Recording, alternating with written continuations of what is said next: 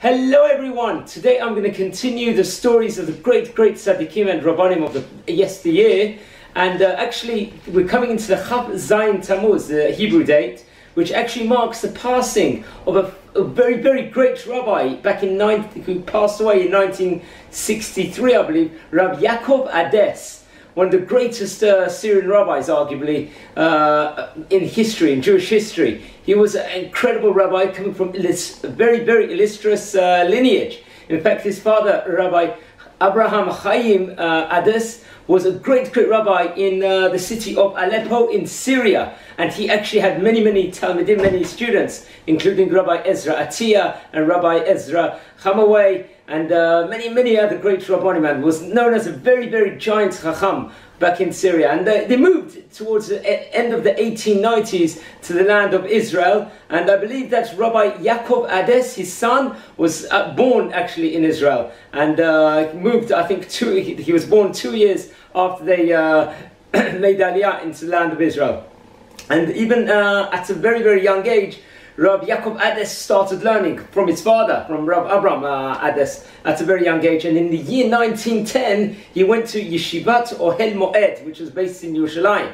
And in fact, he was, uh, became like a very, very uh, incredible uh, Torah scholar. But in the year 1914, World War One broke out, so there was like a few year gap in the yeshivot where the, it wasn't functioning properly due to those reasons of people being uh, drafted in uh, to the to the various armies at the time, so people fled. But he stayed in Jerusalem and uh, continued his Torah learning. And at the age, I believe, in the year 1919, while he was uh, aged at about uh, 21 years old, because he was born in 1898, he married a woman of the name of, of illustrious uh, descent. Chaya Esther. She was actually an, a daughter of another very, very famous rabbi from Aleppo in Syria, of the name of Rabbi Ezra Harari Raful, who was known as a very, very great Chacham. And they, both the sides, uh, both Rabbi Yaakov Ades and his wife, both came from very illustrious uh, heritage from both sides, great, great Rabbanim. And they got married at that year.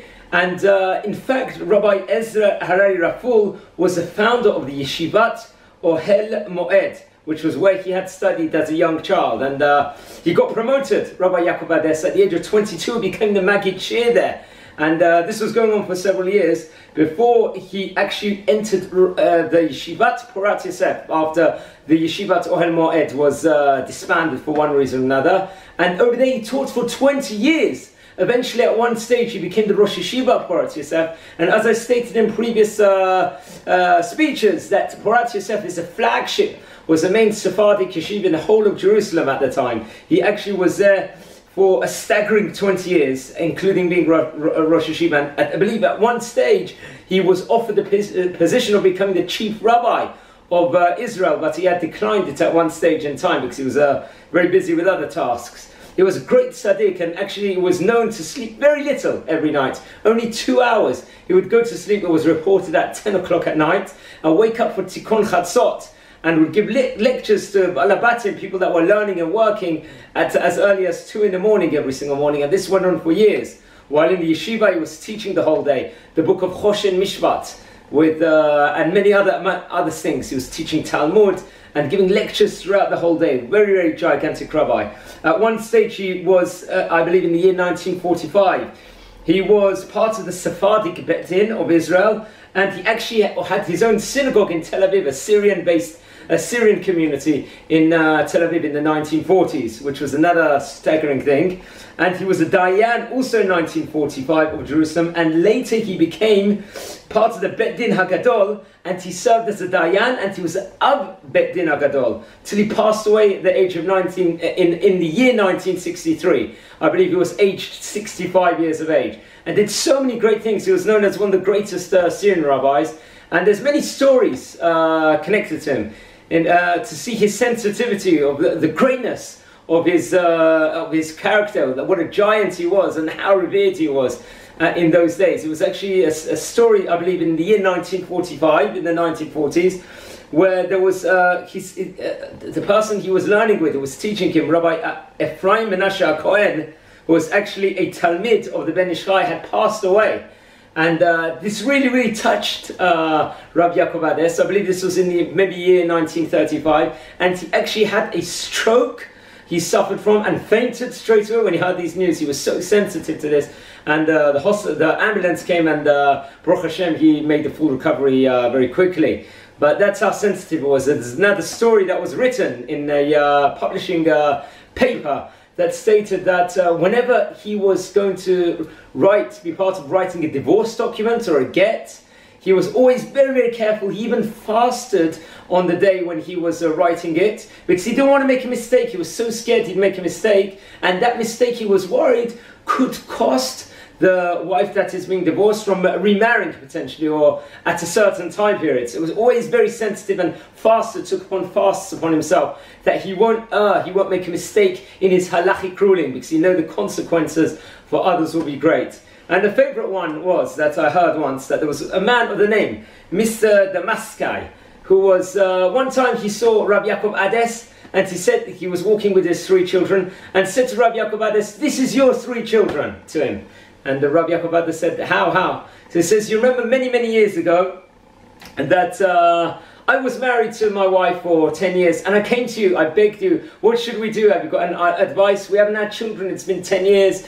And he, he, this Mr. Damascus was even contemplating uh, separating so that he could, uh, maybe because it wasn't going to work out. So he pleaded, he pleaded, Rabbi Yaakov uh, Ades pleaded him and said, no, no, no, please give it, a, give, give, give it another year and he even promised that, he, Rabbi Yaakov Ades promised he would daven at his father's kever because his father many, many times uh, helped people, daven for people, and uh, for, especially for children. And he davened in his father's kever, of uh, the, uh, his father, Rabbi Abraham Chai Ades, and within a year he had his first son, this Mr. Damaskai, and then had the second child shortly afterwards, and then the third boy. So he had such gratitude to Rabbi Yaakov Ades because he went totally out of his way and davened and uh, handpicked this davening in the schut of him. And he, he was such a great rabbi, and uh, he passed away in the year 1963 on Chav Zayin Tammuz, which is this week, I believe tomorrow evening from this recording. So it's uh, maybe his, uh, his, his, all the schuyot, uh, vast treasures of the schuyot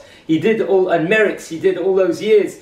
Be like a schut for us in nowadays, where we daven, we should light candles for him tomorrow. It's a very auspicious day. It's his uh, hilula, his yahrzeit, as they also call it. And uh, we, we do a lot of mitzvot and Torah learning, and it, the schut of that learning will be uh, help for him. And you know, he left a great lineage of rabbanim. Three of his sons, I believe, became a great rabbanim. In fact, one of his sons, uh, another Rabbi Ades, he actually became the founder and the Rosh Yeshiva, I believe, of Yeshivat Kol Yaakov which is based in Beit Vagan in Jerusalem, and that yeshiva is named after Rabbi Yaakov Ades himself, respectively. And also now, in, I believe in the year 1964, he had a grandson, also named Rabbi Yaakov Ades, who's known as one of the most gigantic uh, rabbanim at the moment, known, uh, davening netz every morning in the kotel, davening the whole time, known as one of the biggest Talmidei Chachamim in the whole world. He's actually, uh, we've got the schut of him, uh, living in Yerushalayim now, and so many people getting brachot. So he left a lineage of uh, incredible rabbanim, uh, Baruch Hashem, and uh,